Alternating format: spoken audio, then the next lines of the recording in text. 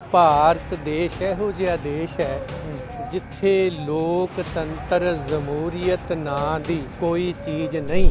ਇਸ ਮੀਡੀਏ ਨੂੰ ਰੋਕਣ ਵਾਸਤੇ ਜੇ ਵੱਧ ਕਿਤੇ ਚੈਨਲ ਜਾਂ ਨੈਟ ਬੰਦ ਕੀਤਾ ਗਿਆ ਤੇ ਉਹਦੀ ਰੇਸ਼ੋ ਸਭ ਤੋਂ ਉੱਤੇ ਭਾਰਤ ਦੀ ਹੈ। ਕਿ ਜਿੰਨਾ ਚਿਰ ਸਿੱਖਾਂ ਦੇ ਘਰ ਜਪਜੀ ਸਾਹਿਬ ਤੇ ਖੰਡੇ ਦੀ ਪੌਲ ਰਹੂ ਉਹਨਾਂ ਚਿਰ ਇਨਸਾਫ ਵੀ ਹੋਊ ਤੇ ਇਨਸਾਫ ਰਹੂ ਕਿ ਬਹੁ ਗਿਣਤੀ ਸਾਡੇ ਚ ਬਿਨਾ ਬਾਣੀ ਬਾਣੇ ਤੋਂ ਬ੍ਰਹਮ ਗਿਆਨੀ।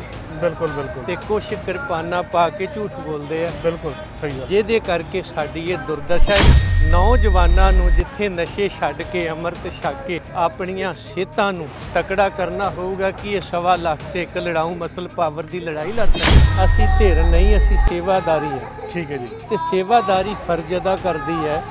ਉਹਦੇ ਨਾਲ ਕੋਈ ਤੁਰੇ ਕੋਈ ਨਾ ਤੁਰੇ ਕੋਈ ਕਿ ਜਿਹੜੇ ਜਿਹੜੇ ਆਪਣੇ ਆਪ ਨੂੰ ਪੰਥਕ ਆਖਦੇ ਆ ਤੁਸੀਂ ਸਾਰਿਆਂ ਦੀਆਂ ਪਰਚੀਆਂ ਪਾ ਲਓ। ਗੁਰੂ ਗ੍ਰੰਥ ਸਾਹਿਬ ਜੀ ਅੱਗੇ ਅਰਦਾਸ ਕਰਕੇ ਇੱਕ ਪਰਚੀ ਚੁੱਕ ਲਓ ਜਿਹਦੀ ਨਿਕਲ ਆਊ ਉਹਨੂੰ ਤੁਸੀਂ ਸੇਵਾਦਾਰ ਮੰਨ ਲਓ। ਇਹ ਤੇ ਸਵੇਰੇ ਇਕੱਠੇ ਕਰ ਲਓ ਜੇ ਵਾਕਈ ਪੰਥਕ ਨੇ। ਹਾਂ। ਤੇ ਜੇ ਉਹ ਏਜੰਸੀਆਂ ਦੇ ਬੰਦੇ ਨੇ ਫੇਰ ਇਹ ਨਾ ਇਕੱਠੇ ਹੋਏ ਸੀ। ਨਾ ਇਹਨਾਂ ਨੇ ਹੋਣਾ ਆ ਜਿਹਨੂੰ ਇਹ ਬਾਪੂ ਕਹਿੰਦੇ ਨੇ ਤੇ ਜਿਹਦੀਆਂ ਫੋਟੋਆਂ ਇਹਨਾਂ ਨੇ ਨੋਟਾਂ ਤੇ ਛਾਪੀਆਂ। ਉਸ ਬੰਦੇ ਦੀ ਸਟੇਟਮੈਂਟ ਸੀ ਕਿ ਜੇ ਸਿੱਖਾਂ ਦੇ ਨਾਲ ਕਿਸੇ ਕਿਸਮ ਦਾ ਧੱਕਾ ਹੋਇਆ ਤੇ ਸਿੱਖ ਆਪਣੇ ਗੁਰੂ ਦੀ ਦਿੱਤੀ ਕਿਰਪਾਨ ਚੁੱਕ ਕੇ ਇਨਸਾਫ ਲੈਣ ਦੇ ਹੱਕਦਾਰ ਹੋਣਗੇ। ਭਾਈ ਜਸਵੰਤ ਸਿੰਘ ਖਾਲੜਾ ਜੀ ਦੇ ਇਨਸਾਫ ਲਈ ਰੋਸ ਮਾਰਚ ਰੱਖਿਆ ਗਿਆ ਭਾਈ ਵਡਾਲਾ ਜੀ ਵੱਲੋਂ। ਕਾਫੀ ਜ਼ਿਆਦਾ ਸੰਗਤਾਂ ਜਿਹੜੀਆਂ ਇੱਥੇ ਪਹੁੰਚੀਆਂ ਹੋਈਆਂ ਨੇ। ਭਾਈ ਵਡਾਲਾ ਜੀ ਨਾਲ ਆਪਾਂ ਗੱਲਬਾਤ ਕਰਾਂਗੇ ਕਿ ਕਿੱਦਾਂ ਦੇਖਦੇ ਆ ਸਰਕਾਰ ਦੇ ਰਵੱਈਏ ਨੂੰ ਕਿਉਂਕਿ ਲੰਬਾ ਸਮਾਂ ਹੋ ਗਿਆ ਤਕਰੀਬਨ 29 ਸਾਲ ਹੋ ਗਏ ਆ ਤੇ ਹਜੇ ਤੱਕ ਇਨਸਾਫ ਨਹੀਂ ਮਿਲਿਆ। ਭਾਈ ਸਾਹਿਬ ਜੀ ਵਾਹਿਗੁਰੂ ਜੀ ਕਾ ਖਾਲਸਾ ਵਾਹਿਗੁਰੂ ਜੀ ਕਾ ਖਾਲਸਾ ਵਾਹਿਗੁਰੂ ਜੀ ਕੀ ਫਤਿਹ। ਭਾਈ ਸਾਹਿਬ ਜੀ ਤਕਰੀਬਨ 29 ਸਾਲ ਹੋ ਗਏ ਆ। ਹਜੇ ਤੱਕ ਕੋਈ ਇਨਸਾਫ ਨਹੀਂ ਮਿਲਿਆ। ਕਿੰਨਾ ਚਿਰ ਇਦਾਂ ਹੀ ਚੱਲਦਾ ਰਹੂਗਾ ਸਰਕਾਰਾਂ ਦਾ ਰਵੱਈਆ ਸਾਡੇ ਨਾਲ? ਗੁਰੂ ਨਾਨਕ ਸਾਹਿਬ ਜੀ ਨੂੰ ਕਿਸੇ ਨੇ ਸਵਾਲ ਕੀਤਾ ਸੀ ਮਹਾਰਾਜ ਜੀ ਜਪਜੀ ਸਾਹਿਬ ਨੇ ਸਾਡੇ ਅੰਦਰ ਇੱਕ ਤਾਕਤ ਪਾ ਦਿੱਤੀ ਹੈ। ਤੇ ਗੁਰੂ ਗੋਬਿੰਦ ਸਿੰਘ ਸਾਹਿਬ ਨੂੰ ਸਵਾਲ ਕੀਤਾ ਸੀ ਖੰਡੇ ਦੀ ਪੌਲ ਹਾਂਜੀ। ਤੇ ਗੁਰੂ ਕੇ ਸ਼ਬਦ ਨੇ ਸਾਡੀਆਂ ਜ਼ਮੀਰਾਂ ਨੂੰ ਤਾਕਤਵਰ ਬਣਾ ਦਿੱਤਾ। ਇਹ ਜਿਹੜਾ ਸਤਜੁਗ ਅਸੀਂ ਪਹਿਲੇ ਤੋਂ 10ਵੇਂ ਤੱਕ ਵੇਖਿਆ ਹੈ ਹੂੰ। ਇਨਸਾਫ। ਇਹ ਕਿੰਨਾ ਕੁ ਚਿਰ ਰਹੂ? ਹੂੰ। ਤੇ ਮਹਾਰਾਜ ਜੀ ਦਾ ਜਵਾਬ ਸੀਗਾ ਕਿ ਜਿੰਨਾ ਚਿਰ ਸਿੱਖਾਂ ਦੇ ਘਰ ਜਪਜੀ ਸਾਹਿਬ। ਤੇ ਖੰਡੇ ਦੀ ਪੌਲ ਰਹੂ ਉਹਨਾਂ ਚਿਰ ਇਨਸਾਫ ਵੀ ਹੋਊ ਤੇ ਇਨਸਾਫ ਰਹੂ। ਔਰ ਇਹ ਗਰੀਬ ਸਿੱਖਨ ਕੋ ਦਿਉ ਪਾਤਸ਼ਾਹੀ ਜਿਸ ਨੂੰ ਬਖਸ਼ੇ ਸਿਫਤ ਸਲਾਹ ਨਾਨਕ ਪਾਤਸ਼ਾਹੀ। ਪਾਤਸ਼ਾਹ ਇਹ ਇਸ ਤਰ੍ਹਾਂ ਦੇ ਰਹਿਣਗੇ। ਹੂੰ। ਤੇ ਅਗਰ ਇਹਦੇ ਤੋਂ ਦੂਰ ਗਏ ਖੰਡੇ ਦੀ ਪੌਲ ਵੀ ਗਈ ਤੇ ਜਪਜੀ ਸਾਹਿਬ ਵੀ ਗਿਆ। ਹਾਂਜੀ ਹਾਂਜੀ ਬਿਲਕੁਲ। ਜਾਬੇ ਗਏ ਵਿਪਰਨ ਕੀ ਰੀਤ ਮੈਂ ਨਾ ਕਰੂੰ ਇਨਕੀ ਪ੍ਰਤੀਤ। ਅੱਜ ਉਹ ਸਾਡੀ ਹਾਲਤ ਇਸ ਕਰਕੇ ਹੈ ਕਿ ਬਹੁ ਗਿਣਤੀ ਸਾਡੇ ਚ ਕੁਛ ਬਿਨਾ ਬਾਣੀ ਬਾਣੇ ਤੋਂ ਬ੍ਰਹਮ ਗਿਆਨੀ। ਬਿਲਕੁਲ ਬਿਲਕੁਲ। ਤੇ ਕੁਛ ਕਿਰਪਾਨਾਂ ਪਾ ਕੇ ਝੂਠ ਬੋਲਦੇ ਆ। ਬਿਲਕੁਲ ਸਹੀ ਗੱਲ। ਜਿਹਦੇ ਕਰਕੇ ਸਾਡੀ ਇਹ ਦੁਰਦਸ਼ਾ ਹੈ ਤੇ ਸਰਕਾਰ ਨੂੰ ਇਸ ਕਮਜ਼ੋਰੀ ਦਾ ਪਤਾ। ਉਸ ਵਕਤ ਸਰਕਾਰ ਕਹਿੰਦੀ ਸੀ ਹੈ ਇਨਮੇ ਇਤਫਾਕ ਮਹਾਨ ਸਿੱਖ ਸਿੱਖ ਪੇ ਵਾਰਤ ਜਾਨ। ਬਿਲਕੁਲ। ਇਹ ਸਰਕਾਰੀ ਰਿਪੋਰਟ ਹੈ। ਅੱਜ ਸਰਕਾਰ ਨੂੰ ਇਹ ਪਤਾ ਹੈ ਵੀ ਕਿਹੜੇ ਬੰਦੇ ਨੇ ਕਿਹੜੇ ਅਹੁਦੇ ਤੇ ਕਿੰਨੇ ਪੈਸਿਆਂ 'ਚ ਕਿੰਨੀ ਕੋ ਦੀ ਔਕਾਤ ਉਹਦਾ ਮੁੱਲ ਪੈਂਦਾ ਤੇ ਉਹ ਉਧਰ ਨੂੰ ਡਿੱਗਦਾ ਹੈ ਜਾ ਕੇ। ਹਾਂ। ਇਸ ਲਈ ਸਾਨੂੰ ਇਹ ਗੱਲਾਂ ਸੋਚਣ ਦੀ ਜ਼ਰੂਰਤ ਹੈ ਕਿ ਸ਼ਬਦ ਗੁਰੂ ਖੰਡੇ ਕੀ ਪੌਲ ਤੇ ਵਿਸ਼ਵਾਸ ਹੋਣਾ ਫਿਰ ਸਿੱਖਾਂ ਦਾ ਆਪਸੀ ਵਿੱਚ ਭਰੋਸਾ ਹੋਣਾ ਸਾਡੀ ਉਦੋਂ ਵੀ ਸਫਲਤਾ ਹੋਈ ਸੀ ਅੱਜ ਵੀ ਹੋ ਸਕਦੀ ਹੈ। ਤੇ ਜਿੰਨਾ ਚਿਰ ਕਿਰਪਾਨ ਪਾ ਕੇ ਝੂਠ ਬੋਲਣਾ ਤੇ ਬਿਨਾਂ ਕਿਰਪਾਨ ਤੋਂ ਵੀ ਬ੍ਰਹਮ ਗਿਆਨੀ ਹੋਣ ਦੇ ਦਾਅਵੇ ਕਰਦੇ ਨੇ ਉਹਨਾਂ ਚਿਰ ਸਾਡੀ ਇਹ ਅਸਫਲਤਾ ਐਵੇਂ ਬਣੀ ਰਹੂ। ਅੱਛਾ ਭਾਈ ਸਾਹਿਬ ਜੀ ਇਨਸਾਫ ਹੁਣ ਮਿਲ ਕਿੱਦਾਂ ਸਕਦਾ? ਕਿਉਂਕਿ ਪਿੱਛੇ 29 ਸਾਲ ਗੁਜ਼ਰ ਗਏ ਆ। ਹਜੇ ਤੱਕ ਤੇ ਕੋਈ ਕਿਰਨ ਇਹੋ ਜੀ ਸਾਨੂੰ ਦਿਖੀ ਨਹੀਂ। ਅੱਗੇ ਕੀ ਇਹੋ ਜਿਹਾ ਸੰਗਤ ਕਰੇ ਜਿਹਦੇ ਨਾਲ ਇਨਸਾਫ ਮਿਲਣ ਦੀ ਕੋਈ ਆਸ ਬੁੱਝੇ ਸਾਨੂੰ? ਇਨਸਾਫ ਉਹੀ ਹੈ ਕਿ ਲੈਣ ਵਾਸਤੇ ਜਿੱਥੇ ਮੈਂਟਲੀ ਪਾਵਰ ਵੀ ਚਾਹੀਦੀ ਹੈ ਤੇ ਮਸਲ ਪਾਵਰ ਵੀ ਚਾਹੀਦੀ ਹੈ। ਨੌਜਵਾਨਾਂ ਨੂੰ ਜਿੱਥੇ ਨਸ਼ੇ ਛੱਡ ਕੇ ਅੰਮ੍ਰਿਤ ਛਕ ਕੇ ਆਪਣੀਆਂ ਸਿਹਤਾਂ ਨੂੰ ਤਕੜਾ ਕਰਨਾ ਹੋਊਗਾ ਕਿ ਇਹ ਸਵਾ ਲੱਖ ਸੇ ਇੱਕ ਲੜਾਊ ਮਸਲ ਪਾਵਰ ਦੀ ਲੜਾਈ ਲੜ ਸਕਣ? ਬਿਲਕੁਲ। ਉੱਥੇ ਉਹਨਾਂ ਨੂੰ ਸ਼ਬਦ ਗੁਰੂ। ਪੜ੍ਹਾਈ ਵੱਲੇ ਵੀ ਧਿਆਨ ਦੇਣਾ ਹੋਊ। ਬਿਲਕੁਲ। ਕਿ ਉਹ ਸ਼ਹੀਦ ਭਾਈ ਜਸਵੰਤ ਸਿੰਘ ਖਾਲੜੇ ਵਰਗੇ ਐਡਵੋਕੇਟ ਬਣਨ ਤੇ ਤਾਂ ਜਾ ਕੇ ਉਹਨਾਂ ਨੂੰ ਇਹ ਸਫਲਤਾ ਮਿਲਣੀ ਹੈ। ਬਿਲਕੁਲ। ਔਰ ਉਸ ਸ਼ਬਦ ਦੇ ਜ਼ਰੀਏ ਹੀ ਬਾਬਰ ਨੂੰ ਜਾਬਰ ਕਿਹਾ ਜਾ ਸਕਦਾ ਹੈ। ਔਰੰਗਿਆਂ ਨੂੰ। ਜਫਰਨਾਮੇ ਲਿਖੇ ਜਾ ਸਕਦੇ ਆ ਪੰਥ ਦੀ ਸਾਜਨਾ ਕੀਤੀ ਜਾ ਸਕਦੀ ਹੈ। ਉਸੇ ਤਾਕਤ ਦਾ ਸਦਕਾ ਹੀ ਸਰਕਾਰਾਂ ਜਦੋਂ ਬੇਇਨਸਾਫੀ ਤੇ ਉਤਰ ਆਉਣ ਅਦਾਲਤਾਂ ਤਰੀਕਾਂ ਦੇਣ ਲੱਗ ਜਾਣ ਪ੍ਰਸ਼ਾਸਨ ਮੂਕ ਦਰਸ਼ਕ ਤੇ ਭ੍ਰਿਸ਼ਟ ਕੋ ਭ੍ਰਿਸ਼ਟ ਹੋ ਜਾਏ ਹੂੰ ਤੇ ਉਹਨਾਂ ਸਮਿਆਂ 'ਚ ਫਿਰ ਉਹ ਗੁਰੂ ਕਾ ਖਾਲਸਾ ਪੰਥ ਜਿਹੜਾ ਸੀ, ਉਹ ਬਾਬਾ ਬੰਦਾ ਸਿੰਘ ਬਹਾਦਰ ਖਾਲਸਾ ਰਾਜ ਦੀ ਸਥਾਪਨਾ ਕਰਦਾ ਹੈ, ਤੇ ਫਿਰ ਉਹ ਇਨਸਾਫ ਲੈਂਦਾ ਵੀ ਹੈ, ਤੇ ਇਨਸਾਫ ਦਾ ਇੱਕ ਮੁੱਢ ਵੀ ਬੰਨਦਾ ਹੈ, ਜਿਹਨੂੰ ਬੇਗਮਪੁਰ ਆਖਿਆ ਜਾਂਦਾ ਹੈ, ਜਿਹਨੂੰ ਖਾਲਸਾ ਰਾਜ ਆਖਿਆ ਜਾਂਦਾ ਹੈ, ਜਿਹਨੂੰ ਰਾਮ ਰਾਜ ਆਖਿਆ ਜਾਂਦਾ ਹੈ। ਜਿਹਦੇ ਵਿੱਚ ਨਾ ਕਿਸੇ ਦਾ ਮੰਦਿਰ ਢੱਠਦਾ ਹੈ ਬਿਲਕੁਲ। ਨਾ ਕਿਸੇ ਦੀ ਮਸਜਿਦ ਢੱਠਦੀ ਹੈ ਤੇ ਨਾ ਹੀ ਮੰਦਿਰ ਮਸਜਿਦ ਤੋਂ ਉੱਪਰ ਕਿਸੇ ਨੂੰ ਕੋਈ ਗੁਰਦੁਆਰੇ ਢਾਉਣ ਦੀ ਲੋੜ ਪੈਂਦੀ। ਹੂੰ ਹੂੰ ਉੱਥੇ ਫਿਰ ਉਹ ਰਾਜ ਪੈਦਾ ਕੀਤੇ ਗਏ ਤੇ ਹੁਣ ਸਾਡੀ ਕੌਮ ਨੂੰ ਆਗੂ ਬਣਨ ਦੀ ਲੋੜ ਹੈ। ਉਹ ਵੀ ਬਾਬਾ ਬੰਦਾ ਸਿੰਘ ਬਹਾਦਰ ਵਰਗੇ ਤੇ ਉਹ ਸਾਨੂੰ ਇਤਿਹਾਸ ਸਾਡਾ ਸਿਧਾਂਤ ਸਾਡਾ ਸੰਵਿਧਾਨ ਸਾਨੂੰ ਸਿਖਾਉਂਦਾ ਹੈ ਜਿਹਦੇ ਤੇ ਚੱਲਣ ਦੀ ਲੋੜ ਪੰਜਾਬ ਦੇ ਹਰ ਨੌਜਵਾਨ ਨੂੰ ਵੀ ਹੋਊ ਤੇ ਹਰ ਆਗੂ ਨੂੰ ਵੀ ਹੋਊ। ਹੁਣ ਇਹ ਵੀ ਇੱਥੇ ਇੱਕ ਵੱਡੀ ਗੱਲ ਆਉਂਦੀ ਕਿ ਨੌਜਵਾਨ ਇਕੱਠੇ ਹੁੰਦੇ ਆ। ਪੰਜਾਬ ਦੇ ਲੋਕ ਵੀ ਇਕੱਠੇ ਹੋ ਜਾਂਦੇ ਆ। ਹਾਂਜੀ। ਅਫਸੋਸ ਲੀਡਰ ਉਹੀ ਹੁੰਦੇ ਆ। ਬਿਲਕੁਲ। ਜਿਹੜੇ ਪੁਰਾਣੇ ਝੂਠ ਬੋਲ ਕੇ। ਇੱਕ ਦੂਜੀ ਪਾਰਟੀ 'ਚ ਗਏ ਇਹ ਜੀ ਫਲਾਣੀ ਪਾਰਟੀ ਛੱਡ ਕੇ ਫਲਾਣੀ 'ਚ ਆ ਗਿਆ। ਹਾਂ ਇੱਕ ਤਾਂ ਸ਼ਬਦ ਸੁਰਤ ਦੀ ਖੇਡ ਖੇਡਣ ਚਿੰਤਨ ਕਰਨ ਦੂਸਰਾ ਕਸੇ ਪੁਰਾਣੇ ਪੁਰਾਣੀਆਂ ਪਾਰਟੀਆਂ ਦੇ ਲੀਡਰ ਸਭ ਛੱਡ ਦੇਣ। ਬਿਲਕੁਲ ਬਿਲਕੁਲ। ਨਵੀਂ ਪਨੀਰੀ ਤਿਆਰ ਕਰਨ। ਨਵੀਂ ਪਨੀਰੀ ਦੇ ਵਿੱਚੋਂ ਜੇ ਉਹ ਨਹੀਂ ਕਰ ਸਕਦੇ ਘੱਟੋ ਘੱਟ ਤੁਸੀਂ ਸਾਡੇ ਨਾਲ ਬੈਠੋ ਯਾਰ। ਹਾਂ। ਅਸੀਂ ਤੁਹਾਡੇ ਨਾਲ ਹੂੰ। ਨਾ ਮੈਨੂੰ ਕੋਈ ਮੁੱਖ ਮੰਤਰੀ ਬਣਨ ਦੀ ਭੁੱਖ ਆ ਨਾ ਕੋਈ ਹੋਰ। ਹੈ ਨਾ ਕੋਈ ਗੋਲਕ ਚੋਰ ਅਸੀਂ ਨਾ ਕੋਈ ਅਸੀਂ ਚੌਧਰ ਦੇ ਭੁੱਖੇ ਆ। ਗੁਰੂ ਰਾਮਦਾਸ ਮਹਾਰਾਜ ਜੀ ਦੇ ਘਰ ਦੇ ਕੀਰਤਨੀਏ ਆ। ਤੇ ਸਤਿਗੁਰੂ ਨੇ ਕੀਰਤਨ ਤੋਂ ਸਾਨੂੰ ਸਿੱਖ ਸੰਗਤਾਂ ਦੀ ਸੇਵਾ ਚਲਾਇਆ ਹੈ ਤੇ ਸਿੱਖ ਸੰਗਤਾਂ ਕਰਕੇ ਅਸੀਂ ਤੁਰੇ ਫਿਰਦੇ ਹਾਂ। ਬਿਲਕੁਲ। ਤੇ ਹੁਣ ਅਸੀਂ ਤੁਹਾਡਾ ਪ੍ਰਚਾਰ ਨਹੀਂ ਕਰਾਂਗੇ ਅਸੀਂ। ਹਾਂਜੀ। ਅਸੀਂ ਨੌਜਵਾਨਾਂ ਦਾ ਪ੍ਰਚਾਰ ਕਰਾਂਗੇ ਅਸੀਂ ਉਹਨਾਂ ਲਈ ਪਿੰਡ-ਪਿੰਡ ਜਾਵਾਂਗੇ। ਇਨਸਾਫ ਵਾਸਤੇ ਵੀ ਭਵਿੱਖ ਵਾਸਤੇ ਵੀ ਸੁਰੱਖਿਆ ਵਾਸਤੇ ਵੀ ਹੋਂਦ ਵਾਸਤੇ ਵੀ ਜਿਹਨੂੰ ਖਤਰਾ ਬਣਿਆ ਹੋਇਆ।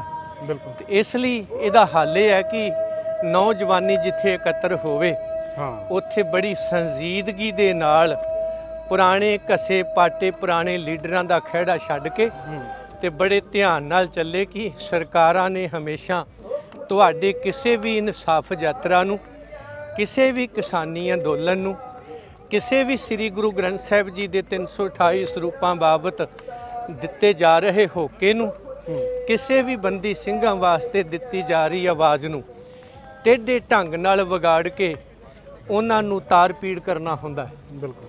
ਹੁਣ ਉਹ ਚੀਜ਼ਾਂ ਵੀ ਸਾਨੂੰ ਬੜੇ ਧਿਆਨ 'ਚ ਰੱਖਣ ਦੀ ਜ਼ਰੂਰਤ ਹੈ ਵੀ ਜਿਹੜੀ ਚੀਜ਼ ਤੁਸੀਂ ਮੰਨ ਲਓ ਆਪਾਂ ਅੱਜ ਭਾਈ ਜਸਵੰਤ ਸਿੰਘ ਖਾਲੜਾ ਜੀ ਨੂੰ ਲੈ ਕੇ ਚੱਲੇ ਆ। ਹਾਂਜੀ। ਤੇ ਸਾਡਾ ਕੇਂਦਰਤ ਇੱਥੇ ਹੀ ਹੋਣਾ ਚਾਹੀਦਾ ਬਿਲਕੁਲ ਬਿਲਕੁਲ। ਹੁਣ ਉਹਨਾਂ ਨੂੰ ਮੋਹਰਾ ਬਣਾ ਕੇ ਅਸੀਂ ਹੋਰ ਗੱਲ ਕਰੀਏ ਤੇ ਸਰਕਾਰਾਂ ਹੋਰ ਗੱਲ ਨੂੰ ਮੋਹਰਾ ਬਣਾ ਕੇ ਸਾਡੇ ਉਸ ਮਿਸ਼ਨ ਨੂੰ ਤਾਰਪੀੜ ਕਰ ਦੇਵੇ। ਬਿਲਕੁਲ। ਇਹ ਸਾਨੂੰ ਗੱਲਾਂ ਬੜੀ ਸੰਜੀਦਗੀ ਨਾਲ ਸੋਚਣੀਆਂ ਹੋਣਗੀਆਂ। ਫਤਿਹ ਉਦੋਂ ਵੀ ਹੋਈ ਸੀ। ਫਤਿਹ ਅੱਜ ਵੀ ਹੋਊ ਕੋਈ ਵੱਡੀ ਗੱਲ। ਰਾਮ ਰਾਜ ਦੀ ਤੁਸੀਂ ਗੱਲ ਕੀਤੀ ਜਿਹੜਾ ਅੱਜ ਮੋਦੀ ਦਾ ਰਾਮ ਰਾਜ ਚੱਲ ਰਿਹਾ ਉਹਦੇ ਵਿੱਚ ਆਪਾਂ ਦੇਖਿਆ ਹੁਣ 13 ਤਰੀਕ ਤੋਂ ਕਿਸਾਨੀ ਧਰਨਾ ਜਿਹੜਾ ਦੁਬਾਰਾ ਸ਼ੁਰੂ ਹੋ ਗਿਆ। ਇਹਦੇ ਵਿੱਚ ਪਿਛਲੇ 4-5 ਦਿਨਾਂ ਤੇ ਤਸ਼ੱਦਦ ਦਾ ਅਤ ਕਰਾਇਆ ਪਿਆ ਮੋਦੀ ਗਵਰਨਮੈਂਟ ਨੇ ਤੇ ਖੱਚਰ ਗਵਰਨਮੈਂਟ ਨੇ। ਇਹਨਾਂ ਨੇ ਗੋਲੇ ਸੁੱਟ-ਸੁੱਟ ਕੇ ਤੇ ਗੋਲੀਆਂ origignal ਗੋਲੀਆਂ ਵੀ ਮਾਰੀਆਂ ਪਲਾਸਟਿਕ ਦੀਆਂ ਗੋਲੀਆਂ ਵੀ ਮਾਰੀਆਂ। ਤੇ ਕਿਤੇ ਨਾ ਕਿਤੇ ਇਹ ਇਹਨੂੰ ਰਾਮ ਰਾਜ ਇਹਨੂੰ ਆਪਾਂ ਕਹਿ ਸਕਦੇ ਹਾਂ। ਨਹੀਂ ਮੈਂ ਜਿਹੜੇ ਰਾਮ ਰਾਜ ਦੀ ਗੱਲ ਕਰਦਾ ਆ ਉਹ ਰਾਮ ਹੈ ਹਾਂਜੀ। ਜਿਹਨੂੰ ਪਰਮੇਸ਼ਰ ਕਾਲਪੁਰਖ ਵਾਹਿਗੁਰੂ ਆਖਿਆ ਜਾਂਦਾ। ਹਾਂ। ਜਿਸ ਨੂੰ ਸ੍ਰੀ ਗੁਰੂ ਗ੍ਰੰਥ ਸਾਹਿਬ ਜੀ ਦੇ ਅੰਦਰ ਕਈ ਵਾਰ ਯਾਦ ਕਰਕੇ ਰਾਮ ਸ਼ਬਦ ਵਰਤਿਆ ਗਿਆ ਸਭੇ ਘਟ ਰਾਮ ਬੋਲੇ। ਹਾਂਜੀ ਹਾਂਜੀ। ਰਾਮ ਰਾਮ ਬੋਲ ਬੋਲ ਸ਼ਬਦ ਬੜੀ ਬੜੀ ਆਉਂਦਾ ਹੈ। ਬਿਲਕੁਲ ਬਿਲਕੁਲ। ਉਹ ਰਾਮ ਪਰਮੇਸ਼ਰ ਦੀ ਗੱਲ ਕਰ ਰਿਹਾ ਆ ਉਹ ਪਰਮੇਸ਼ਰੀ ਸੋਚ ਦਾ ਰਾਜ ਹੂੰ। ਜਿਹਨੂੰ ਬੇਗਮਪੁਰਾ। ਖਾਲਸਾ ਰਾਜ ਬਾਬਾ ਬੰਦਾ ਸਿੰਘ ਬਹਾਦਰ 12 ਮਿਸਲਾ ਸ਼ੇਰੇ ਪੰਜਾਬ ਜਿੱਥੇ ਮੋਹਕਮ ਚੰਦ ਵੀ ਵਜ਼ੀਰ ਹੁੰਦਾ ਹੈ ਹੂੰ ਹੂੰ। ਤੇ ਅਜ਼ੀਜ਼ੁਦੀਨ ਵੀ ਹੁੰਦਾ ਹੈ। ਹਾਂਜੀ। ਤੇ ਹਰੀ ਸਿੰਘ ਨਲੂਹੇ ਵੀ ਵਜ਼ੀਰ ਹੁੰਦੇ। ਬਿਲਕੁਲ ਬਿਲਕੁਲ ਬਿਲਕੁਲ। ਜਿੱਥੇ ਮਸਜਿਦਾਂ 'ਚ ਵੀ ਸੇਵਾ ਹੁੰਦੀ ਹੈ ਮੰਦਰਾਂ 'ਚ ਵੀ ਹੁੰਦੀ ਹੈ ਤੇ ਸੱਚਖੰਡ ਸ੍ਰੀ ਦਰਬਾਰ ਸਾਹਿਬ ਵੀ ਸੇਵਾ ਹੁੰਦੀ ਹੈ। ਉੱਥੇ ਕਿਸੇ ਨਾਲ ਕੋਈ ਵੈਰ ਵਿਰੋਧ ਨਹੀਂ। ਬਿਲਕੁਲ। ਪਰ ਇਹ ਜਿਹੜੇ ਰਾਮ ਰਾਜ ਦੀ ਗੱਲ ਕਰ ਰਹੇ ਨੇ ਇਹ ਗੱਲ ਤਾਂ ਰਾਮ ਰਾਜ ਦੀ ਕਰ ਰਹੇ ਆ। ਪਰ ਰਾਜ ਇਹਨਾਂ ਦਾ ਮਨੂਵਾਦੀ ਹੈ। ਰਾਜ ਮਨੂਵਾਦੀ ਬਣ ਗਿਆ। ਬਿਲਕੁਲ। ਉਸ ਮਨੂਵਾਦੀ ਰਾਜ ਨੇ ਲੋਕਤੰਤਰ ਦਾ ਘਾਣ ਕੀਤਾ। ਇਹ ਵੀ ਉਸੇ ਦਾ ਹੀ ਹਿੱਸਾ ਹੈ। ਬਿਲਕੁਲ।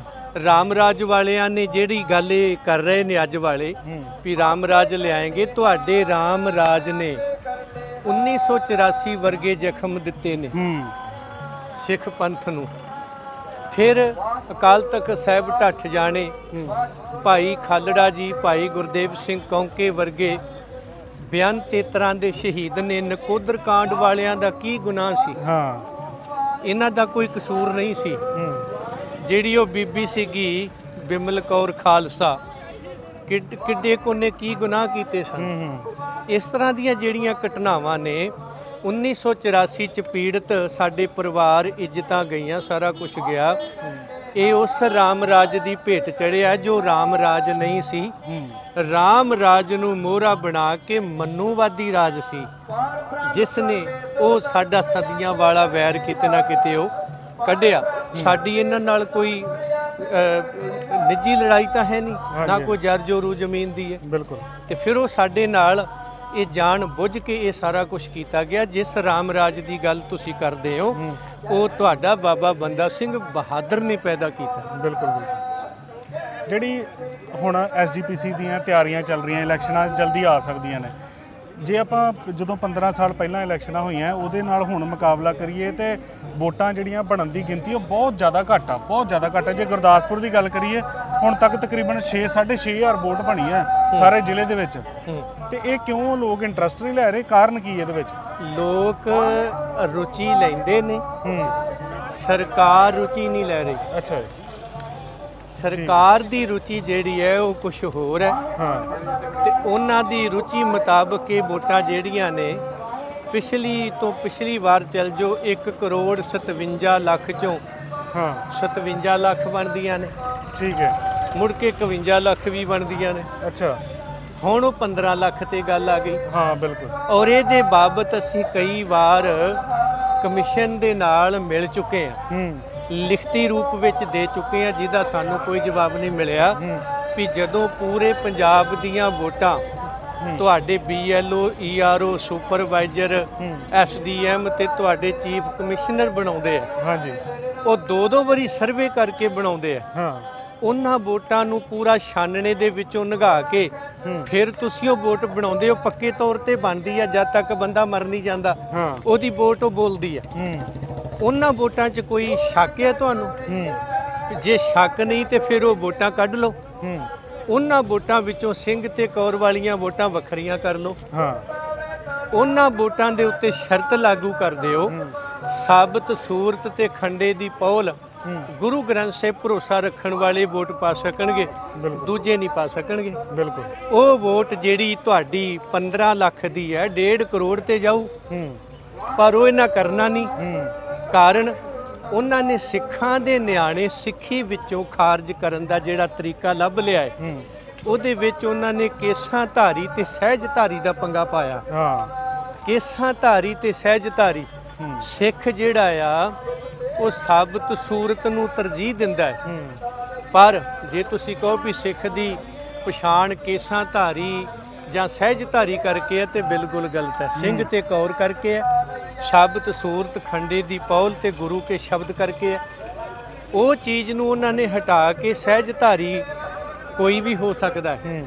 ਸਹਿਜ ਧਾਰੀ ਨਥੂ ਰਾਮ ਸਹਿਜ ਧਾਰੀ ਮੁਹੰਮਦ ਸਦੀਕ ਦਾੜੀ ਰੱਖ ਕੇ ਕਹਿ ਦੇਵੇ ਮੈਂ ਗੁਰੂ ਗ੍ਰੰਥ ਸਾਹਿਬ ਨੂੰ ਗੁਰੂ ਮੰਨਦਾ ਉਹਦੀਆਂ ਵੋਟਾਂ ਬਣਾ ਦਿੱਤੀਆਂ ਜਾਣਗੀਆਂ। ਤੇ ਜੇ ਕਿਧਰੇ ਸਿੱਖ ਬੱਚਿਆਂ ਨੇ ਦਾੜੀ ਕੇਸ ਮੁੰਨੇ ਆ ਉਹਨਾਂ ਦੀ ਵੋਟ ਨਹੀਂ ਬਣੂਗੀ। ਇਹ ਪਲਾਨਡ ਹੋਇਆ ਹੈ। ਸਾਡੀ ਨੌਜਵਾਨੀ ਨੂੰ ਇਹ ਦਾਵਾ ਕਰਨਾ ਬਣਦਾ ਸੀਗਾ ਵੀ ਤੁਹਾਡੀ ਗੱਲ ਮੰਨ ਲੈਨੇ ਅਸੀਂ ਦਾੜੀ ਨਹੀਂ ਰੱਖੀ। ਪਰ ਅਸੀਂ ਵੋਟ ਉਦਣ ਪਾਵਾਂਗੇ ਜਿੱਦਣ ਦਾੜੀ ਰੱਖਾਂਗੇ। ਬਿਲਕੁਲ। ਇਹਦਾ ਕੀ ਮਤਲਬ ਹੋਇਆ ਵੀ ਤੁਸੀਂ ਵੋਟ ਹੀ ਡਿਸਮਿਸ ਕਰ ਦਿਓ ਹੁਣ ਉਹ ਨੌਜਵਾਨੀ ਦੀ ਪਲਾਨਡ ਡਿਸਮਿਸ ਵੋਟ ਕਰ ਦਿੱਤੀ ਹੈ।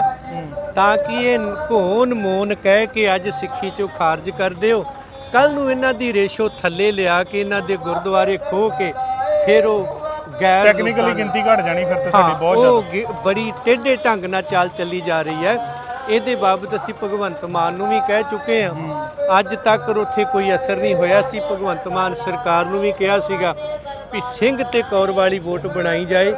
ਜਦੋਂ ਨੌਜਵਾਨਾਂ ਦੀਆਂ ਵੋਟਾਂ ਬਣ ਗਈਆਂ ਮੈਂ ਦਾਅਵੇ ਨਾ ਕਹਿਣਾ ਉਹ ਦਾੜੀਆਂ ਵੀ ਰੱਖਣਗੇ ਕੇਸ ਵੀ ਰੱਖਣਗੇ। ਤੇ ਜਦੋਂ ਤੁਸੀਂ ਉਹਨਾਂ ਦੀਆਂ ਵੋਟਾਂ ਹੀ ਕੱਟ ਦਿੱਤੀਆਂ। ਸਿੱਖੀ ਚੋਂ ਖਾਰਜ ਕਰ ਦਿੱਤਾ ਤੇ ਹੁਣ ਉਹਨਾਂ ਤੋਂ ਕੀ ਆਸ ਰੱਖਦੇ? ਇਸ ਹਿਸਾਬ ਨਾਲ ਫਿਰ ਭਗਵੰਤ ਮਾਨ ਸਾਹਿਬ ਵੀ ਜਿਹੜੀ ਇਸ ਗਿਣਤੀ 'ਚ ਨਹੀਂ ਆਉਂਦੇ ਸਿੱਖਾਂ ਹਾਂ ਇਹ ਉਹ ਵੀ ਨਹੀਂ ਆਉਂਦੇ ਸੁਖਬੀਰ ਬਾਦਲ ਵੀ ਨਹੀਂ ਆਉਂਦਾ। ਹਾਂ। ਉਹ ਕਿਹੜਾ ਆਉਂਦਾ ਹੈ? ਹਾਂਜੀ ਹਾਂਜੀ। ਕਿਉਂਕਿ ਉੱਥੇ ਵੀ ਲਿਖਿਆ ਹੋਇਆ ਵੀ ਗੁਰੂ ਗ੍ਰੰਥ ਸਾਹਿਬ ਜੀ ਨੂੰ ਗੁਰੂ ਮੰਨਣ ਵਾਲੇ। ਐਸਜੀਪੀਸੀ ਆਪਾਂ ਆਜ਼ਾਦ ਕਰਾਉਣੀ ਹੈ। ਕਾਫੀ ਜ਼ਿਆਦਾ ਸਿੱਖ ਸੰਗਤ ਦੀ ਜਿਹੜੀ ਦਿਲਾਂ ਦੀ ਆਵਾਜ਼ ਆ ਹੁਣ ਐਸਜੀਪੀਸੀ ਆਜ਼ਾਦ ਕਰਾਉਣ ਵਾਸਤੇ ਜਿਹੜਾ ਸਭ ਤੋਂ ਮੇਨ ਜ਼ਰੂਰੀ ਹੈ ਕਿ ਜਿਹੜੇ ਬਾਕੀ ਜਿਹੜੇ ਧਿਰਾਂ ਨੇ ਵੱਡੀਆਂ ਵੱਡੀਆਂ ਜਿੱਦਾਂ ਤੁਸੀਂ ਲਾ ਲਓ ਹਨਾ ਸਾਰਿਆਂ ਦੇ ਸਿਰ ਜੁੜਨੇ ਬੜੇ ਜ਼ਿਆਦਾ ਜ਼ਰੂਰੀ ਆ। ਠੀਕ ਹੈ ਚਾਰ ਪੰਜ ਧਿਰਾਂ ਨੇ ਪੰਜਾਬ ਦੇ ਵਿੱਚ ਚੰਗੀਆਂ ਜਿਹੜੀਆਂ ਕੌਮ ਦੇ ਵਿੱਚ ਕੰਮ ਕਰ ਰਹੀਆਂ। ਇਹ ਸਿਰ ਜੁੜ ਨਹੀਂ ਰਹੇ ਆਪਸ 'ਚ ਇਕੱਠ ਨਹੀਂ ਹੋ ਰਿਹਾ। ਇਹ ਕਿੱਦਾਂ ਪੋਸੀਬਲ ਹੈ ਕਿੱਦਾਂ ਹੋਏਗਾ? ਕਿਉਂਕਿ ਆਮ ਲੋਕਾਂ ਦੇ ਸਵਾਲ ਨੇ ਆ। ਲੋਕ ਪੁੱਛਦੇ ਆ ਕਿ ਆਪਸ 'ਚ ਇਕੱਠੇ ਨਹੀਂ ਹੋ ਰਹੇ ਤੇ ਕਿੱਦਾਂ ਐਸਜੀਪੀਸੀ ਆਜ਼ਾਦ ਹੋਊਗੀ? ਇੱਕ ਤਾਂ ਇਹ ਵੀ ਧਿਰ ਅਸੀਂ ਧਿਰ ਨਹੀਂ ਆ। ਠੀਕ ਹੈ ਜੀ। ਧਿਰ ਜਿਹੜੀ ਆ ਉਹ ਦਾਵਾ ਕਰਦੀ ਆ ਠੀਕ ਹੈ। ਕਿ ਸਾਡਾ ਹੱਕ ਬਣਦਾ। ਠੀਕ ਹੈ। ਤੇ ਜਿਹੜਾ ਸੇਵਾਦਾਰ ਹੁੰਦਾ ਉਹ ਕਹਿੰਦਾ ਮੇਰਾ ਫਰਜ਼ ਬਣਦਾ ਹੈ। ਜਿਹੜੀ ਸਾਡੀ ਜਥੇਬੰਦੀ ਆ ਜਾਂ ਸਤਿਗੁਰ ਨੇ ਸੇਵਾ 'ਚ ਸਿੱਖ ਜਿਹੜੇ ਲਾਏ ਸਾਡੇ ਨਾਲ ਹੂੰ। ਅਸੀਂ ਉਹ ਤੁਹਾਡੇ ਸਾਰੇ ਵੀਰਾਂ ਦੇ ਸਹਿਯੋਗ ਨਾਲ ਚੱਲੇ ਹੋਏ ਆ ਹੂੰ।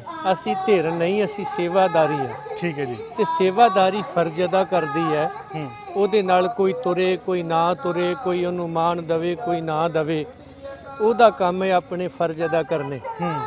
ਤੇ ਅਸੀਂ ਸੇਵਾਦਾਰ ਰਹਿਣਾ ਵੀ ਚਾਹਾਂਗੇ ਕਾਰਨ ਪ੍ਰਧਾਨਗੀਆਂ ਧਿਰਾਂ ਆ ਕੇ ਚਲੇ ਜਾਂਦੀਆਂ ਨੇ। ਹਾਂਜੀ। ਸੇਵਾਦਾਰੀਆਂ ਆਉਂਦੀਆਂ ਨੇ ਪਰ ਜਾਂਦੀਆਂ ਨੇ ਹੂੰ। ਇਸ ਲਈ ਇਹ ਗੱਲ ਇੱਥੇ ਧਿਆਨ ਰੱਖਣ ਯੋਗ।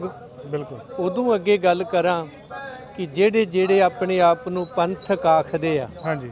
ਅਸੀਂ ਪੰਥ ਲਈ ਚੱਲੇ ਆ ਪੰਥ ਲਈ ਚੱਲੇ ਆ ਪੰਥ ਲਈ ਚੱਲੇ ਆ।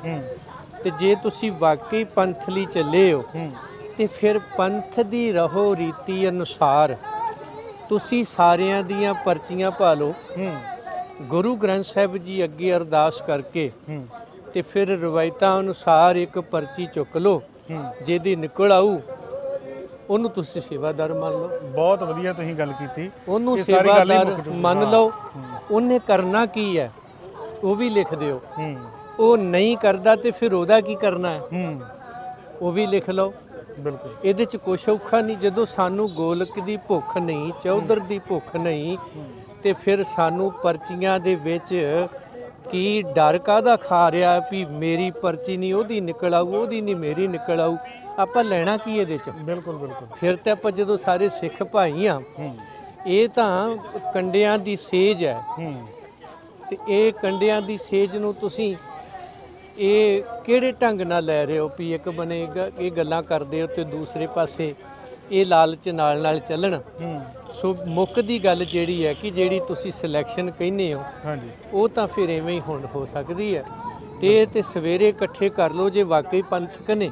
ਹਾਂ। ਤੇ ਜੇ ਉਹ ਏਜੰਸੀਆਂ ਦੇ ਬੰਦੇ ਨੇ ਫਿਰ ਇਹ ਨਾ ਇਕੱਠੇ ਹੋਏ ਸੀ ਨਾ ਇਹਨਾਂ ਨੇ ਹੋਣਾ ਆ। ਤੇ ਪੰਥ ਦੇ ਵਿੱਚ ਦੁਬਦਾ ਪਾ ਕੇ ਤੇ ਦੁਸ਼ਮਣ ਦਾ ਕੰਮ ਕਰਨਾ ਆ। ਵੀ ਜੇ ਤੁਸੀਂ ਲੜੋ ਤਾਂ ਵੀ ਪੰਥ ਦੇ ਤੁਹਾਨੂੰ ਗਦਾਰ ਕਹਿ ਸਕਣ। ਜੇ ਨਾ ਲੜੋ ਤੇ ਤਾਂ ਵੀ ਤੁਹਾਨੂੰ ਇਹ ਗਦਾਰ ਕਹਿ ਸਕਣ। ਫਿਰ ਇਹ ਵਿਦ ਪਲਾਨ ਫਿੱਟ ਕੀਤੇ ਹੋਏ। ਇਹਦਾ ਜਵਾਬ ਹੁਣ ਉਹੀ ਦੇ ਸਕਦੇ ਆ ਵੀ ਉਹ ਕੀ ਸੋਚਦੇ। ਅੱਛਾ ਹੁਣ ਲਾਸਟ ਤੇ ਆਪਾਂ ਗੱਲ ਕਰ ਲਈਏ ਕਿ ਕਿਸਾਨੀ ਸੰਘਰਸ਼ ਚੱਲ ਰਿਹਾ ਵਾ। ਜੀ। ਤੇ ਮੋਦੀ ਸਰਕਾਰ ਨੇ ਜਿਹੜੀ ਜ਼ੁਲਮ ਦੀ ਅੱਤ ਕੀਤੀ ਪਈ ਆ। ਕਿਸਾਨਾਂ ਦੇ ਨਾਲ ਇਹਨਾਂ ਨੇ ਧੋਖਾ ਕੀਤਾ ਸਾਰੀਆਂ ਗੱਲਾਂ ਮੰਨ ਕੇ ਤੇ ਹੁਣ ਉਹਦੇ ਤੋਂ ਮੁੱਕਰ ਰਹੀ ਹੈ ਉਹਦੇ ਬਾਰੇ ਆਪਣੇ ਵਿਚਾਰ ਸੰਗਤ ਨੂੰ ਦੱਸ ਦਿਓ। ਇਹ ਤਾਂ ਮੋਦੀ ਸਰਕਾਰ ਨੂੰ ਆਪ ਹੀ ਚਾਹੀਦਾ ਆ ਕਿ ਤੁਸੀਂ ਜਮਹੂਰੀਅਤ ਕਾਨੂੰਨ ਸੰਵਿਧਾਨ ਦੀਆਂ ਸਹੁੰਆਂ ਖਾਣ ਵਾਲੇ ਹੋ। ਕੁਰਸੀਆਂ ਤੇ ਬਹਿ ਕੇ ਰਾਜ ਕਰਨ ਨੂੰ ਹੱਕ ਦੱਸਣ ਵਾਲੇ ਹੋ। ਤੁਸੀਂ ਇਨਸਾਫ ਨੂੰ ਫਰਜ਼ ਕਦੋਂ ਬਣਾਓਗੇ?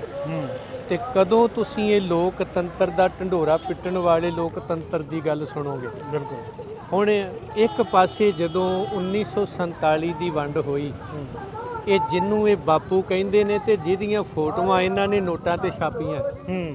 ਉਸ ਬੰਦੇ ਦੀ ਸਟੇਟਮੈਂਟ ਸੀ ਵੀ ਜੇ ਸਿੱਖਾਂ ਦੇ ਨਾਲ ਕਿਸੇ ਕਿਸਮ ਦਾ ਧੱਕਾ ਹੋਇਆ ਹੂੰ। ਤੇ ਸਿੱਖ ਆਪਣੇ ਗੁਰੂ ਦੀ ਦਿੱਤੀ ਕਿਰਪਾਨ ਚੁੱਕ ਕੇ ਇਨਸਾਫ ਲੈਣ ਦੇ ਹੱਕਦਾਰ ਹੋਣਗੇ। ਬਿਲਕੁਲ। ਇਹਦਾ ਮਤਲਬ ਜੀ ਉਹਨੇ ਕਿਹਾ ਤੇ ਫਿਰ ਇਹ ਸੰਵਿਧਾਨ 'ਚ ਲਿਖਿਆ ਹੋਣਾ ਚਾਹੀਦਾ ਸੀ। ਹਾਂ ਹਾਂ ਹਾਂ। ਖੈਰ ਚਲੋ ਉਹਨੇ ਗੱਲ ਕਹੀ ਹੂੰ। ਹੁਣ 1947 ਤੋਂ ਲੈ ਕੇ ਅੱਜ ਤੱਕ ਸਿੱਖਾਂ ਨੂੰ ਸਵਾਏ ਨੁਕਸਾਨ ਤੋਂ ਦਿੱਤਾ ਕੀ ਹੈ ਭਾਰਤੀ ਕੇਂਦਰ ਸਰਕਾਰ ਨੇ? ਪੰਜਾਬ ਨੂੰ ਪੰਥ ਨੂੰ ਸਿੱਖ ਸਿੱਖਾਂ ਨੂੰ। ਜਿਹੜਾ ਅਸੀਂ ਉਹਨਾਂ ਨੂੰ ਕਹੀਏ ਵੀ ਇਹਨਾਂ ਨੇ ਬਹੁਤ ਕੁਝ ਕਰ ਦਿੱਤਾ। ਬਿਲਕੁਲ ਬਿਲਕੁਲ। ਉਹਦੇ ਬਾਵਜੂਦ ਜਾਂ ਉਹਦੇ ਬਦਲੇ 'ਚ ਸਾਡੇ ਨਾਲ ਜਿੱਥੇ ਧੱਕੇ ਹੋਏ ਸਮਾਜਿਕ ਹੋਏ ਆਰਥਿਕ ਹੋਏ ਰਾਜਨੀਤਿਕ ਹੋਏ ਧਾਰਮਿਕ ਝੰਜੋੜਨ ਵਾਲੇ ਵੀ ਹੋਏ। ਬਿਲਕੁਲ। ਹੁਣ ਉੱਥੇ ਫਿਰ ਸਾਨੂੰ ਕੁਰਬਾਨ ਚੱਕਣੀ ਬਣਦੀ ਸੀ। ਬਿਲਕੁਲ ਬਿਲਕੁਲ। ਵੀ ਅਸੀਂ ਫਿਰ ਕਿਰਪਾਨਾਂ ਚੱਕ ਕੇ ਇਹਨਾਂ ਕੋ ਖਾਲਸਾਈ ਢੰਗ ਨਾਲ ਇਨਸਾਫ ਲਈਏ। ਉਹਦੇ ਬਾਵਜੂਦ ਫਿਰ ਅਸੀਂ ਸ਼ਾਂਤਮਈ ਢੰਗ ਨਾਲ ਮੰਗ ਰਹੇ ਹਾਂ। ਬਿਲਕੁਲ। ਤੇ ਜੇ ਤੁਸੀਂ ਸ਼ਾਂਤਮਈ ਢੰਗ ਅੰਦੋਲਨ 'ਚ ਜਾਣ ਵਾਲੇ ਕਿਸਾਨਾਂ ਨੂੰ ਜਾਂ ਗੁਰੂ ਗ੍ਰੰਥ ਸਾਹਿਬ ਜੀ ਦੇ ਬੇਅਦਬੀਆਂ ਦਾ ਇਨਸਾਫ ਮੰਗਣ ਵਾਲਿਆਂ ਨੂੰ ਗੋਲੀਆਂ ਮਾਰਦੇ ਹੋ ਤਸ਼ੱਦਦ ਕਰਦੇ ਹੋ ਪਾਣੀ ਦੀਆਂ ਵਿਛਾੜਾਂ ਗੋਲੇ। ਹੋਰ ਕਿੰਨੇ ਤੁਸੀਂ ਨੁਕਸਾਨ ਕੀਤੇ ਜਾਨਾਂ ਗਈਆਂ। ਜਾਨੀ ਮਾਲੀ ਵੱਡਾ ਪੱਧਰ ਤੇ ਉਹ ਨੁਕਸਾਨ ਹੋਇਆ ਆ। ਇਸ ਸਭ ਕਾਹੇ ਦੀ ਜ਼ਿੰਮੇਵਾਰ ਇਹ ਸਰਕਾਰ ਹੈ ਜਿਹਦੀ ਅਸੀਂ ਬਿਲਕੁਲ ਨਖੇਦੀ ਕਰਦੇ ਹੂੰ। ਔਰ ਇਹ ਵੀ ਆਖਦੇ ਹਾਂ ਵੀ ਆਸ ਤੁਹਾਡੇ ਤੋਂ ਪਹਿਲਾਂ ਵੀ ਨਹੀਂ ਸੀ। ਤੇ ਆਸ ਸਾਨੂੰ ਹੁਣ ਵੀ ਨਹੀਂ ਆ। ਜੋ ਤੁਸੀਂ ਹਾਲਾਤ ਬਣਾਏ ਹੋਏ ਆ ਔਰ ਇਹਨਾਂ ਨੇ ਦੱਸ ਦਿੱਤਾ ਪੂਰੀ ਦੁਨੀਆ ਦੇ ਵਿੱਚ ਵੀ ਭਾਰਤ ਦੇਸ਼ ਇਹੋ ਜਿਹਾ ਦੇਸ਼ ਹੈ ਜਿੱਥੇ ਲੋਕਤੰਤਰ ਜਮਹੂਰੀਅਤ ਨਾਂ ਦੀ ਕੋਈ ਚੀਜ਼ ਨਹੀਂ। ਬਿਲਕੁਲ। ਅਣ ਮਨੁੱਖੀ ਤਸ਼ੱਦਦ ਮਨੁੱਖੀ ਅਧਿਕਾਰਾਂ ਦਾ ਘਾਣ ਇੱਥੋਂ ਤੱਕ ਕਿ ਜੇ ਕੋਈ ਮੀਡੀਆ ਵਾਲਾ ਵੀਰ ਵੀ ਉੱਥੇ ਦੀ ਕਵਰੇਜ ਨਾ ਕਰ ਲੈ ਉਹਨਾਂ ਦੇ ਨੈਟ ਤੱਕ ਬੰਦ ਕਰ ਦਿੱਤੇ। ਫਿਰ ਇਹ ਵੀ ਪਤਾ ਲੱਗਿਆ ਕਿ ਸਭ ਤੋਂ ਵੱਧ ਦੁਨੀਆ ਦੇ ਵਿੱਚ ਪੱਤਰਕਾਰੀ ਜਾਂ ਇਸ ਮੀਡੀਏ ਨੂੰ ਰੋਕਣ ਵਾਸਤੇ ਜੇ ਵੱਧ ਕਿਤੇ ਚੈਨਲ ਜਾਂ ਨੈਟ ਬੰਦ ਕੀਤਾ ਗਿਆ ਤੇ ਉਹਦੀ ਰੇਸ਼ੋ ਸਭ ਤੋਂ ਉੱਤੇ ਭਾਰਤ ਦੀ ਹੈ ਇਹ ਲੋਕ ਮੋਹਰੀ ਰਹੇ ਨੇ ਕਿ ਇਹ ਲੋਕਤੰਤਰ ਦਾ ਘਾਣ ਹੈ। ਬਿਲਕੁਲ। ਤੇ ਇਹਦੀ ਅਸੀਂ ਕਰੜੇ ਸ਼ਬਦਾਂ 'ਚ ਨਖੇਦੀ ਕਰਦੇ ਹਾਂ ਕਿ ਪੰਜਾਬ ਦਾ ਹਿੱਸਾ ਆ ਹਰਿਆਣਾ। ਉਹਨੂੰ ਤੁਸੀਂ ਅੱਜ ਬਾਰਡਰ ਬਣਾ ਕੇ ਪਾਕਿਸਤਾਨ ਤੇ ਚੀਨ ਵਾਲਾ ਵਰਤਾ। ਇਹ ਕਰਨਾ ਇਹ ਠੀਕ ਨਹੀਂ ਹੈ ਤੇ ਅੰਦੋਲਨ ਨੂੰ ਅੱਤਵਾਦੀਆਂ ਦਾ ਤੋਂ ਅੰਦੋਲਨ ਬਣਾਉਣ ਦੀ ਗੱਲ ਸੋਚਣੀ ਇਹ ਤੁਹਾਡੇ ਵਾਸਤੇ ਠੀਕ ਨਹੀਂ ਹੈ। ਸੜਕਾਂ ਦੇ ਵਿੱਚ ਕਿੱਲ ਠੋਕਣੇ ਉਹ ਇੰਜ ਲੱਗਦਾ ਹੈ ਕਿ ਮੋਦੀ ਸਰਕਾਰ ਨੇ ਬਾਕੀ ਤੇ ਸਭ ਕੁਝ ਵੇਚ ਦਿੱਤਾ। ਅਦਾਲਤਾਂ ਪ੍ਰਸ਼ਾਸਨ ਸਾਰਾ ਕੁਝ ਖਰੀਦ ਲਿਆ। ਹਾਈ ਕੋਰਟ ਦਾ ਸਟੇਟਮੈਂਟ ਆ ਕਿ ਤੁਸੀਂ ਕਿਸਾਨਾਂ ਨੂੰ ਜਾਣ ਦਿਓ ਉਹਨਾਂ ਦੇ ਰਾਹ ਨਾ ਰੋਕੋ। ਤੇ ਦੇਖ ਲਓ ਹਜੇ ਤੱਕ ਰਾਹ ਉਦਾਂ ਦੇ ਉਦਾਂ ਹੀ ਬੰਦ ਕਰਕੇ ਤੇ ਰੱਖੇ ਹੋਏ। ਜੇ ਸੁਪਰੀਮ ਕੋਰਟ ਹਾਈ ਕੋਰਟ ਦੀ ਗੱਲ ਨਹੀਂ ਸੁਣੀ ਜਾ ਰਹੀ ਹਾਂ। ਤੇ ਫਿਰ ਇੱਥੇ ਸਾਫ਼ ਹੈ ਵੀ ਇੱਥੇ ਲੋਕਤੰਤਰ ਨਹੀਂ ਇੱਥੇ ਤੇ ਫਿਰ ਮੋਦੀ ਤੰਤਰ ਚੱਲ ਰਿਹਾ। ਬਿਲਕੁਲ। ਤੇ ਉਹਦੇ ਵਿੱਚ ਲੋਕਤੰਤਰ ਦਾ ਜਮਹੂਰੀਅਤ ਸੰਵਿਧਾਨ ਤੇ ਕਾਨੂੰਨ ਦਾ ਜਿਹੜਾ ਆ ਉਹ ਘਾਣ ਹੋ ਰਿਹਾ ਹੈ। ਜਿਹੜਾ ਕਿ ਮੋਦੀ ਸਰਕਾਰ ਨੂੰ ਅਜੇ ਵੀ ਸੋਚਣਾ ਬਣਦਾ। ਖੱਟਰ ਨੇ ਇੱਥੋਂ ਤੱਕ ਬਿਆਨ ਦੇ ਦਿੱਤਾ ਕਹਿੰਦਾ ਕਿ ਜਿਹੜਾ ਟਰੈਕਟਰ ਹੈ ਉਹ ਤੇ ਟੈਂਕ ਦੇ ਸਮਾਨ ਇਹਨਾਂ ਨੇ ਤਿਆਰ ਕਰਕੇ ਰੱਖੇ ਹੋਏ ਆ। ਟੈਂਕ ਨਾਲੋਂ ਜ਼ਿਆਦਾ ਖਤਰਨਾਕ ਜਿਹੜਾ ਉਹ ਟਰੈਕਟਰ ਆ। ਇੱਥੋਂ ਤੱਕ ਇਹ ਬਿਆਨਬਾਜ਼ੀਆਂ ਕਰ ਰਹੇ ਨੇ। ਖੈਰ ਸਿੱਖ ਸਦਭਾਵਨਾ ਦਲ ਕਿਸਾਨ ਅੰਦੋਲਨ ਦੇ ਵਿੱਚ ਸਾਥ ਦੇ ਰਿਹਾ ਫਿਰ ਪਹੁੰਚੋਗੇ? ਸਿੱਖ ਸਦਭਾਵਨਾ ਦਲ ਆਪ ਕਿਸਾਨਾਂ ਦਾ ਦਲ ਆ। ਠੀਕ ਹੈ ਤੇ ਹਰ ਬੰਦਾ ਜਿਹੜਾ ਪੰਜਾਬੀ ਆ ਉਹਦੀ ਕਿਸਾਨੀ ਦੇ ਨਾਲ ਜਾਨ ਵੀ ਜੁੜੀ ਹੋਈ ਹੈ ਤੇ ਜਹਾਨ ਵੀ ਜੁੜਿਆ ਹੋਇਆ। ਹੂੰ। ਕੱਲੇ ਅਸੀਂ ਨਹੀਂ ਹਰ ਬੰਦਾ ਦੁਨੀਆ ਦਾ ਅੰਦੋਲਨ ਕਹਿ ਲੋ ਇਹ ਮਾਨਵਤਾ ਦਾ ਅੰਦੋਲਨ ਹੈ ਕਿਸਾਨਾਂ ਦਾ ਨਹੀਂ। ਮਨੁੱਖੀ ਅਧਿਕਾਰਾਂ ਦਾ ਅੰਦੋਲਨ ਹੂੰ। ਉਹਦੇ ਲਈ ਹਰ ਬੰਦਾ ਨਾਲ ਸੀ ਨਾਲ ਹੈ ਤੇ ਨਾਲ ਰਹੇਗਾ ਜਿਹਦੇ ਵਿੱਚ ਅਸੀਂ ਵੀ ਸ਼ਾਮਲ ਆ ਬਿਲਕੁਲ। ਤੇ ਅਸੀਂ ਆ ਇਨਸਾਫ ਯਾਤਰਾ ਉਹਨਾਂ ਤੋਂ ਪਹਿਲਾਂ ਦੀ ਰੱਖੀ ਹੋਈ ਹੈ। ਇਸ ਕਰਕੇ ਅੱਜ ਅਸੀਂ ਇੱਥੇ ਆ ਹੂੰ। ਦੂਸਰਾ ਅਸੀਂ ਉਹਨਾਂ ਵਾਸਤੇ ਸ੍ਰੀ ਅਕਾਲ ਤਖਤ ਸਾਹਿਬ ਜਾ ਕੇ ਕੜਾ ਪ੍ਰਸ਼ਾਦ ਦੀ ਦੇਗ ਕੀਤੀ ਅਰਦਾਸ ਕੀਤੀ। ਹਾਂਜੀ ਹਾਂਜੀ। ਸਤਿਗੁਰੂ ਕਿਸਾਨ ਭਰਾਵਾਂ ਨੂੰ ਕਿਸਾਨ ਆਗੂਆਂ ਨੂੰ ਏਕਤਾ ਅਡੋਲਤਾ ਇਤਫਾਕ ਬਖਸ਼ਿਓ ਤਾਂ ਕਿ ਉਹ ਜ਼ਬਰ ਦਾ ਮੁਕਾਬਲਾ ਸਬਰ ਨਾਲ ਕਰ ਸਕਣ ਤੇ ਨੌਜਵਾਨ ਵੀਰਾਂ ਲਈ ਵੀ ਅਰਦਾਸ ਕੀਤੀ ਵੀ ਜਿਹੋ ਜੇ ਸਾਡੇ ਉਹ ਨੌਜਵਾਨ ਯੋਧੇ ਆ ਜਿਹੜੇ ਇਹਨਾਂ ਦੇ ਉਹ ਛੱਡੇ ਹੋਏ ਜੰਤਰ ਤੀਰ ਕਮਾਨਾਂ ਨਾਲ ਥੱਲੇ ਸੁੱਟ ਲੈਂਦੇ ਆ। ਹਾਂਜੀ ਪਤੰਗਾਂ ਨਾਲ। ਗੁੱਡੀਆਂ ਡਾ ਕੇ ਥੱਲੇ ਲਾ ਲੈਂਦੇ ਆ ਤੇ ਇਹਨਾਂ ਦੀਆਂ ਪਾਣੀ ਦੀਆਂ ਬੁਛਾੜਾਂ ਅੱਗੇ ਛਾਤੀਆਂ ਡਾ ਲੈਂਦੇ ਆ। ਬਿਲਕੁਲ। ਉਹਨਾਂ ਨਾਲ ਖਾਸ ਕਰਕੇ ਵੀ ਤੁਸੀਂ ਜ਼ਬਰ ਦਾ ਮੁਕਾਬਲਾ ਸਬਰ ਨਾਲ ਕਰਿਓ। ਹੂੰ ਬਿਲਕੁਲ। ਇਹ ਇਹ ਕੋਸ਼ਿਸ਼ ਕਰਨਗੇ ਕਿ ਤੁਹਾਡੇ ਖੂਨ ਨੂੰ ਬਾਲਾ ਦੇ ਕੇ ਹਾਂ। ਤੁਹਾਡਾ ਸ਼ਿਕਾਰ ਖੇਡਿਆ ਜਾਏ। ਬਿਲਕੁਲ। ਇਸ ਲਈ ਖਾਸ ਕਰਕੇ ਨੌਜਵਾਨ ਵੀਰ ਤੇ ਮੁੱਖ ਅੰਦੋਲਨ ਨੂੰ ਰੱਖਿਓ। ਅੰਦੋਲਨ ਦੇ ਵਿੱਚ ਕੋਈ ਦੂਸਰੀ ਤੀਸਰੀ ਚੀਜ਼ ਲਿਆਓਗੇ ਇਹ ਤੁਹਾਡੇ ਕਿਸਾਨੀ ਅੰਦੋਲਨ ਨੂੰ ਰੰਗਤ ਹੋਰ ਦੇਣ ਦੀ ਕੋਸ਼ਿਸ਼ ਕਰਨਗੇ। ਇਸ ਲਈ ਤੁਸੀਂ ਸਿਰਫ ਤੇ ਸਿਰਫ ਕਿਸਾਨੀ ਲਈ ਗਏ ਹੋ ਤੇ ਕਿਸਾਨੀ ਖੇਤੀ ਪੌਣ ਪਾਣੀ ਧਰਤੀ ਦੀ ਗੱਲ ਨੂੰ ਹੀ ਮੁੱਖ ਰੱਖਿਓ। ਬਿਲਕੁਲ। ਭਾਈ ਸਾਹਿਬ ਜੀ ਬਹੁਤ ਬਹੁਤ ਧੰਨਵਾਦ। ਵਾਹਿਗੁਰੂ ਜੀ ਲੰਬਾ ਸਮਾਂ ਦੇਤਾ ਤੁਸੀਂ। ਵਾਹਿਗੁਰੂ ਵਾਹਿਗੁਰੂ ਜੀ ਕਾ ਖਾਲਸਾ। ਵਾਹਿਗੁਰੂ ਜੀ ਕੀ ਫਤਿਹ।